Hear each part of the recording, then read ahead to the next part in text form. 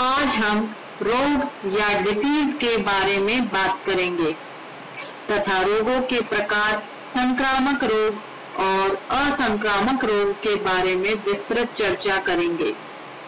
हम अपने आसपास व्यक्तियों को किसी न किसी रोग से पीड़ित देखते हैं, जैसे TB cancer diabetes malaria chicken pox blood pressure आदि।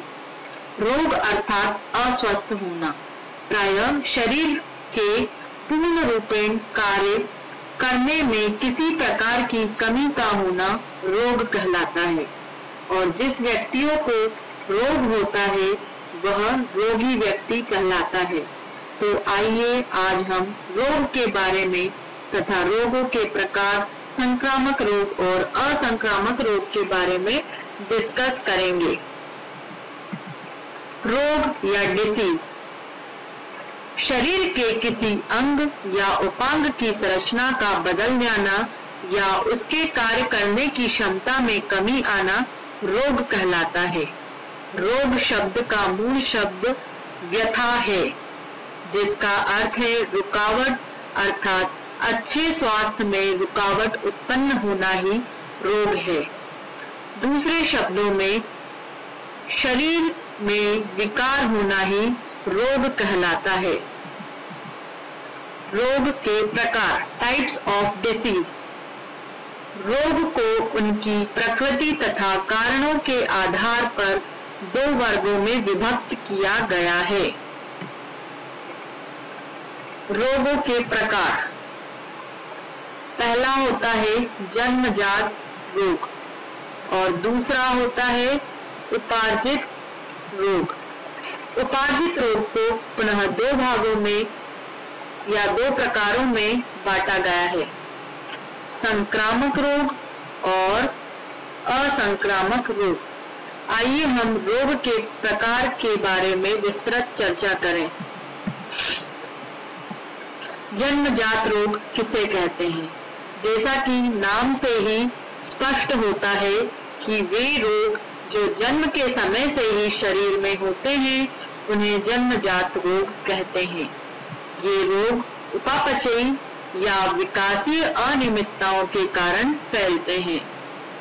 दूसरा है उपार्जित रोग। वे रोग जो जन्म के पश्चात विभिन्न कारकों के कारण उत्पन्न होते हैं, उन्हें उपार्जित रोग कहते हैं। उपार्जित रोग को पुनः दो प्रकार होते हैं, संक्रामक रोग और असंक्रामक रोग। संक्रामक रोग। संक्रामक रोग का तात्पर्य ऐसे रोगों से है जो एक इंसान या जीव से दूसरे इंसान या जीव में फैलते हैं। इस प्रकार के रोग किसी न किसी रोग जनित कारकों जैसे प्रोटोजोआ, ईस्ट बैक्टीरिया, वायरस आदि के माध्यम से एक व्यक्ति से दूसरे व्यक्ति में फैलकर उसे संक्रमित कर सकते हैं। मलेरिया, टाइफाइड, चेचक, इन्फ्लुएंजा आदि संक्रामक रोगों के उदाहरण हैं।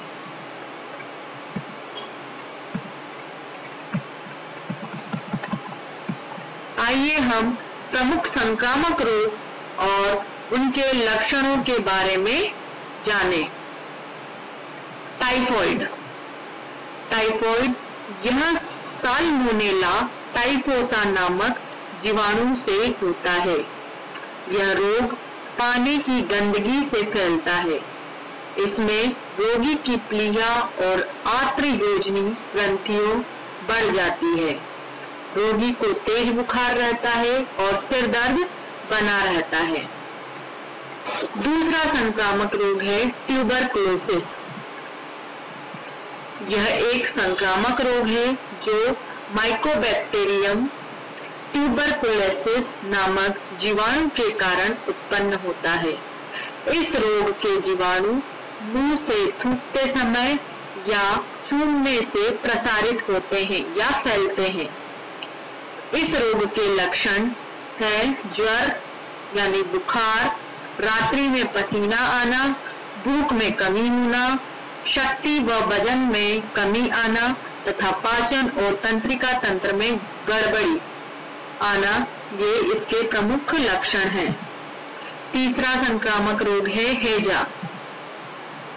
हेजा विब्रियो कॉलेरा नामक जीवाणु के कारण होता है और मक्खियों द्वारा फैलता है। इसमें रोगी के शरीर में जल की कमी हो जाती है तथा रक्त का संचार धीमा पड़ जाता है। उल्टी दस्त के साथ शरीर का सारा पानी निकल जाता है, जिसमें, जिससे शरीर में पानी की कमी आ जाती है। चौथा संक्रामक रोग है AIDS. AIDS, acquired immuno deficiency syndrome का संक्षिप्त रूप है। यह रोग विषाणु के कारण होता है। यह विषाणु एचआईवी अर्थात ह्यूमन इम्यूनो डिफिशियंसी वायरस है। इसमें रोग, यौन संबंधों के कारण रक्ताधान में अनियमितता से और नशीले पदार्थों के अत्यधिक सेवन करने से एड्स फैलता है। चेचक यह एक अत्यंत संक्रामक रोग है, जिसके, जिसका संक्रमण एक अति सूक्ष्म विषाणु के कारण होता है। इस रोग से ग्रसित रोगी को सर्वप्रथम सिर, पीठ, कमर और बाद में सारे शरीर में जोड़ों का दर्द होता है और बाद में लाल लाल दाने निकल आते हैं। छठा संक्रामक रोग है मलेरिया। यह रोग प्लाज्मोडियम नामक परिजीवी प्रोटोजोआ से होता है। प्लाज्मोडियम मादा एनाफिलीज मच्छर है,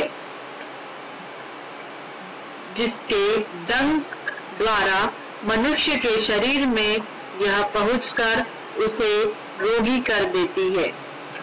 इस रोग में जाड़े के साथ साथ बुखार आता है, अर्थात ठंड के साथ बुखार आता है और लाल रुधिराणु नष्ट हो जाते हैं तथा रक्त में कमी आ जाती है।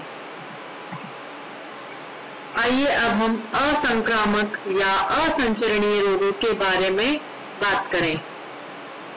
जो रोग संक्रमित व्यक्ति या रोगी से स्वस्थ व्यक्ति को स्थानांतरित नहीं होते हैं, उन्हें असंचरणीय या असंक्रामक रोग कहते हैं, जैसे मधुमेह अर्थात डायबिटीज़ जोड़ों का दर्द कैंसर हृदय रोग आदि। असंक्रामक रोग निम्न प्रकार के होते हैं। रासित रोग। यह विभिन्न शारीरिक अंगों से नष्ट होने से उत्पन्न होते हैं, जैसे हृदय रोग हीनता जन्य रोग।